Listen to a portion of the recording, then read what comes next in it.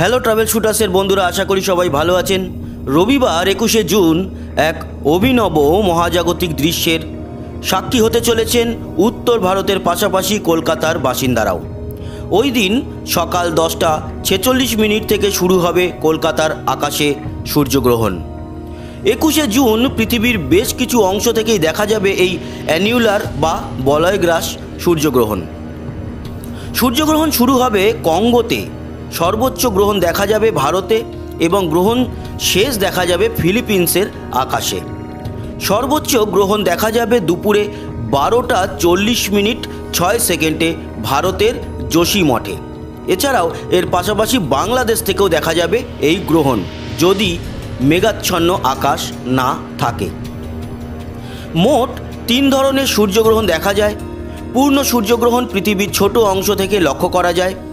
এই অবস্থা তৈরি হয় যখন সূর্য, চাঁদ ও পৃথিবী সরাসরি একই সরল রেখায় অবস্থান করে।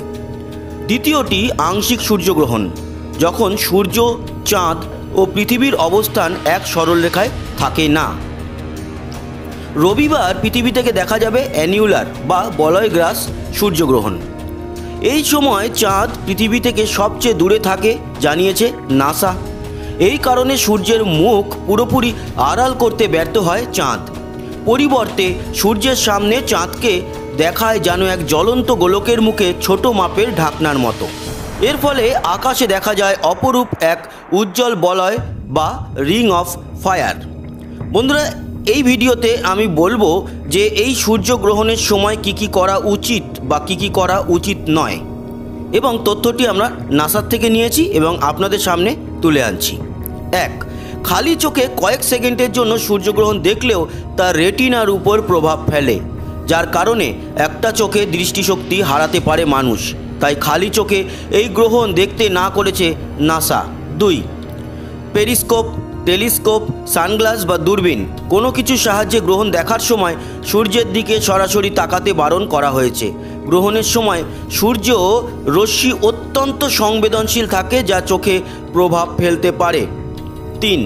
সানগ্লাস বা ঘষা কাঁচ দিয়েও এই গ্রহণ দেখতে বারণ করেছে নাসা, কারণ এগুলোও নিরাপদ নয়। চার, বিজ্ঞানীরা বলেছেন বিশেষ গ্রহণ গ্লাস বা সোলার ফিল্টার দিয়েই এই গ্রহণ দেখা উচিত। পাঁচ, বাজারে আইএসও স্বীকৃত বিশেষ সোলার গ্লাস দিয়ে একমাত্র এই গ্রহণ দেখা নিরাপদ। ছয়, সেসব গ্লাস ব্যবহারের আগে অবশ্যই ব্যবহার নির্দেশিকা পড়ে নিতে উপদেশ দিয়েছেন বিজ্ঞানীরা। কোনোভাবে সেই গ্লাস ভাঙা বা দাগ থাকলে ব্যবহার করতেও না করেছেন তারা। সাত, সূর্যগ্রহণ চলাকালীন আয়ুর্বেদ শাস্ত্র খাবার খেতে বারণ করেছে। একমাত্র বৃদ্ধ, অসুস্থ ও গর্ভবতী মহিলারা হালকা খাবার নিতে পারবেন বলে বলা আছে। যদিও আধুনিক বিজ্ঞান এই দাবিকে কিন্তু মান্যতা দেয়নি।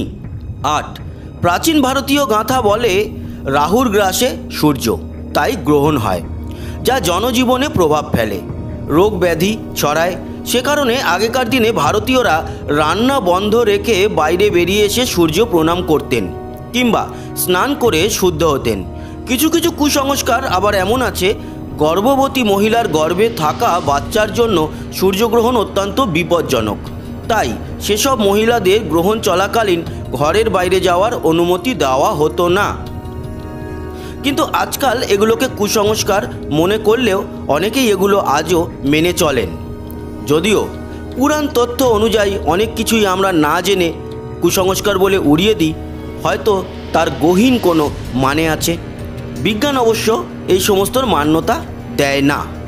তো বন্ধুরা, সূর্যগ্রহণ আগামীকাল যে একুশে জুন হতে চলেছে, তাই নিয়ে এই ছিল এই মুহূর্তের একটি অন্যরকম তথ্যমূলক ভিডিও। আশা করি আপনারা কালকে সূর্যগ্রহণ সাবধানতা অবলম্বন করেই দেখবেন, যদি না আকাশ মেঘাচ্ছন্ন থাকে।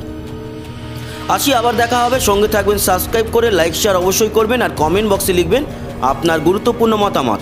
আসি, আবার দেখা হবে। ধন্যবাদ।